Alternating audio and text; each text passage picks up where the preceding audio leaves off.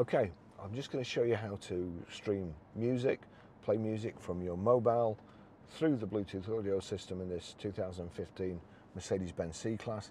So the first thing we do, we go to tunes. There's a tune on that I quite like anyway. Now, you see at the bottom there, the, the circles and the, the like pyramid.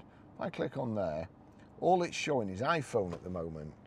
So my phone is paired to the system, but it's not showing.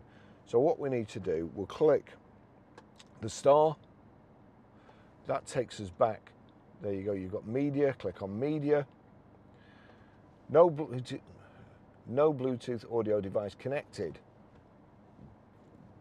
Right, okay. You see media there, there's an arrow as well. So if I go to options, click on options, Bluetooth audio devices. Click on Bluetooth audio devices. Now, highlight Barry's iPhone 15, click on it. With a bit of luck, there it's come up. Now, anything that's playing on this, any audio, whether it be YouTube sound, YouTube video soundtrack, um, Apple iTunes, Amazon Prime Music, Spotify, whatever, it will play on here. So we'll go back there, click on that, turn it up. That's it. That's how you play music.